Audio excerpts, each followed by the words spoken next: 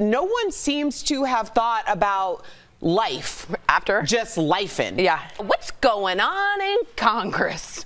Hmm? That's a question a lot of people Nothing. are. Yeah, thank you, Al. After are asking after Congressman Jim Jordan made a very surprised announcement today that he will not be going for a third vote for House Speaker. The real world is always happening. There's always something. Have we ever True. had a day where there isn't drama happening somewhere in the country?